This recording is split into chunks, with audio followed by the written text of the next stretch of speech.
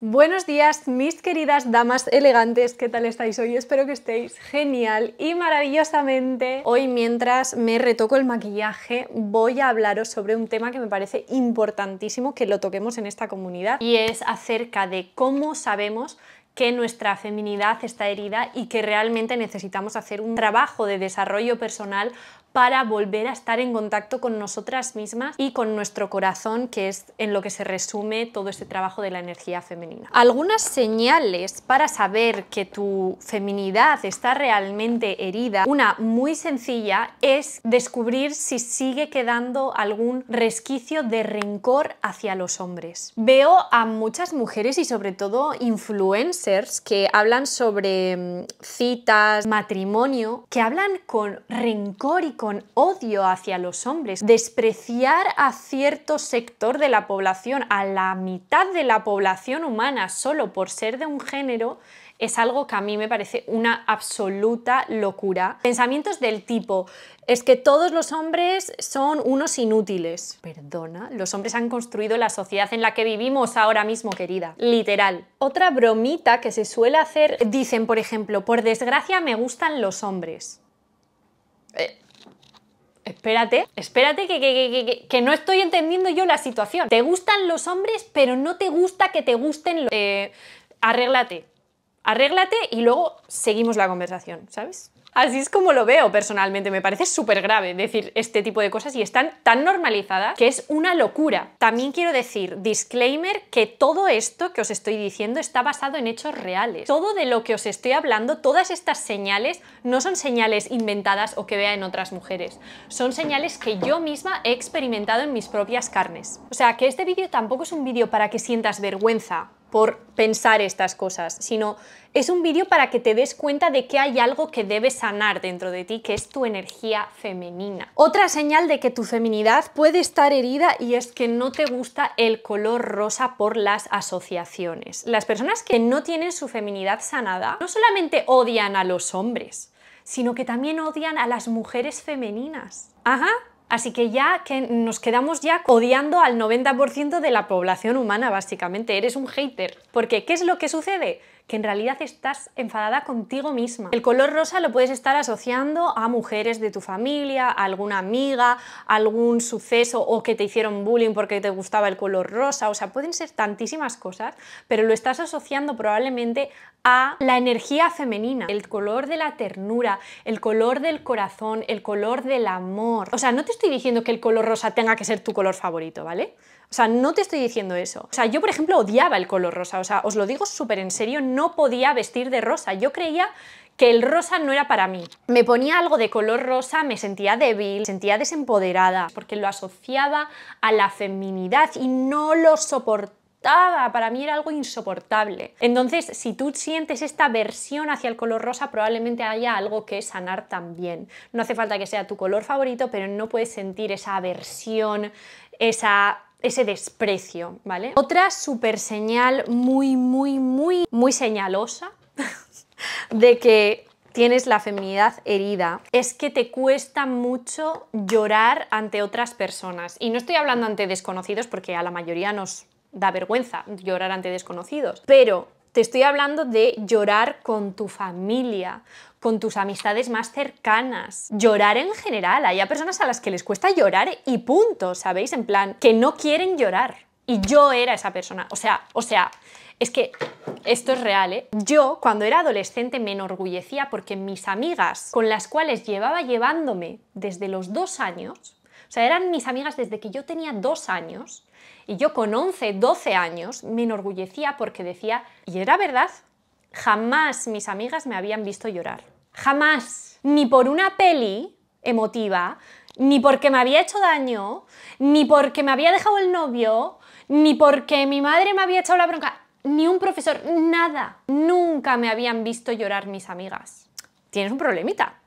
No sé si te has dado cuenta, cariño, pero eso es una falta de vulnerabilidad, miedo, aversión a ser vulnerable, a abrir tu corazón y mostrarte tal cual te sientes y tal cual eres ante el resto. Falta de aceptación de una misma. La mayoría de las mujeres somos mujeres femeninas estamos llenas de energía femenina solo por nuestros órganos, por nuestro sistema endocrino, nuestras hormonas, nuestros cerebros. Somos femeninas, somos maravillosas, somos mágicas, somos el portal de la vida y todavía no aceptamos ese maravilloso don ni la responsabilidad que ello conlleva ni los regalos, ni lo valoramos. Y es una pena. Y el trabajo de la energía femenina es ese, reconectar a ese nivel contigo misma y aceptarte.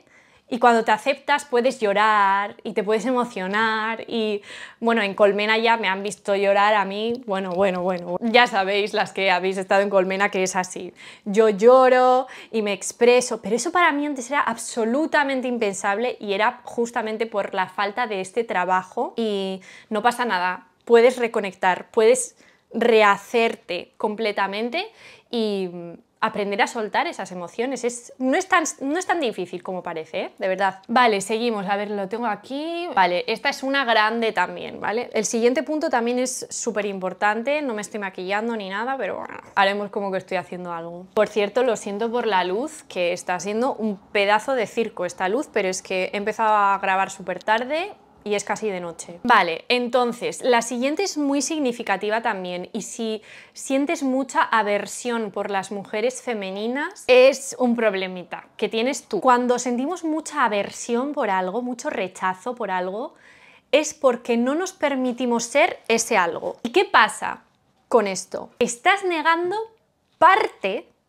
de lo que eres, porque los seres humanos podemos ser todo. Podemos ser el santo Job y el asesino en serie. Cuando tú como ser humano aceptas, puedo ser el asesino y puedo ser el santo Job, pero elijo ser esto, eres libre porque estás eligiendo. La mayoría de personas diría, ay no, yo no, yo asesina no, yo jamás asesinaría a alguien, pero te comes el cerdito que acaban de asesinar por ti todos los días. Por ejemplo, entonces, aceptar esto es fundamental. Y con la feminidad pasa exactamente lo mismo.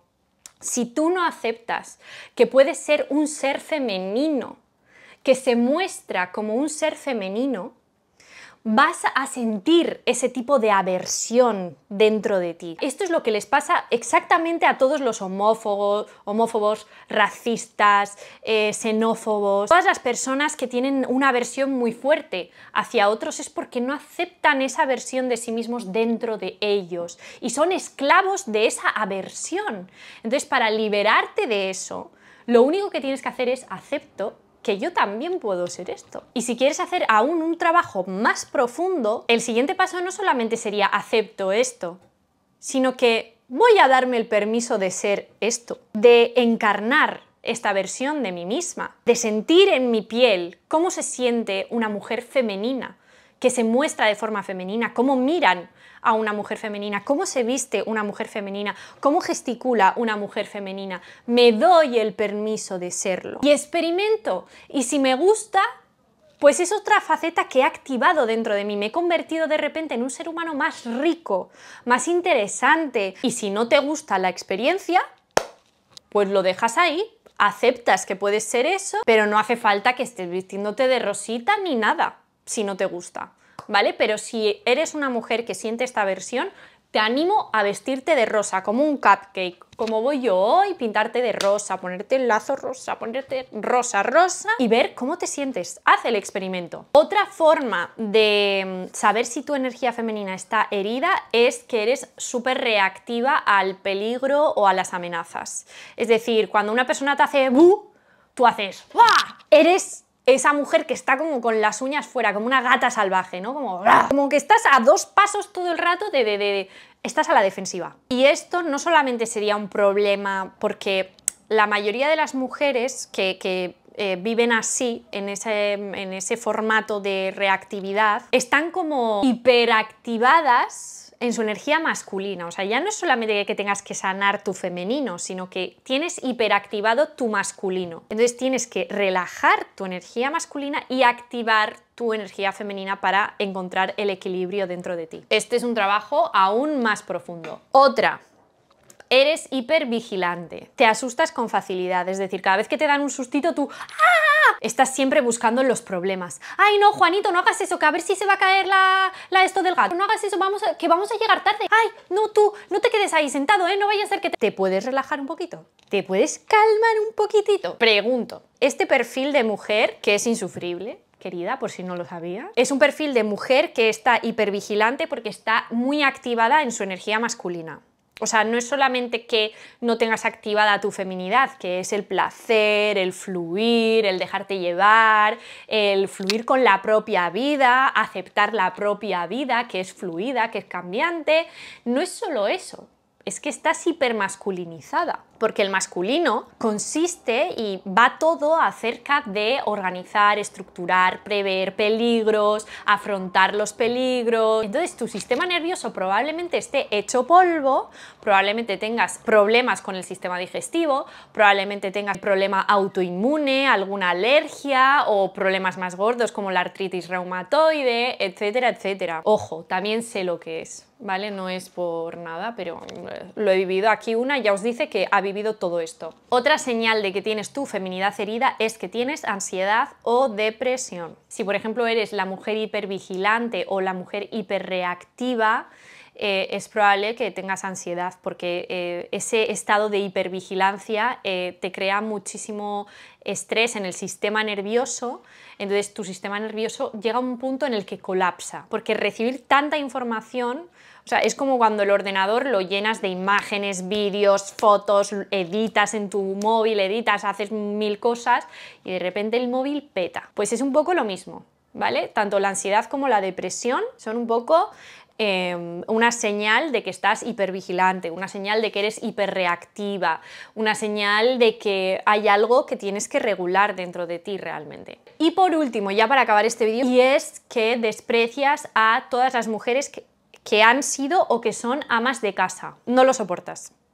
Yo me acuerdo de despreciar a mi abuela, que en paz descanse, que la amo, la adoro y siempre la he adorado y siempre la he amado. Pero cuando yo estaba en mi etapa súper feminista, súper hiperactiva, súper reactiva, súper masculina, yo me acuerdo, pero le decía a mi abuela, pero si tú nunca has trabajado en la vida, pero ¿qué me vas a decir? No sé qué, etapa adolescente. Insoportable, insoportable. La verdad es que era porque yo no podía, no podía ver cómo una mujer con todo el poder que tiene, no me explicaba yo cómo podía estar en casa. Y es como, ahora es lo único que quiero en la vida, cariño. O sea, ser ama de casa, mi amor, y encima contratando a alguien para que la limpie. Entonces, ¿ya qué eres? ¿Ama de, de qué? ¿De la existencia? Ya está, que es lo que somos las mujeres básicamente. Así que nada, queridas, hasta aquí el vídeo de hoy. Espero que os haya gustado. No os lo toméis nada personal ni a pecho. Simplemente observaros a vosotras mismas, preguntaros por qué sentís lo que sentís y luego hacer el trabajo correspondiente para sanar. Os dejo por aquí el siguiente vídeo que tenéis que ver de mi canal y nos vemos la semana que viene. ¡Agur!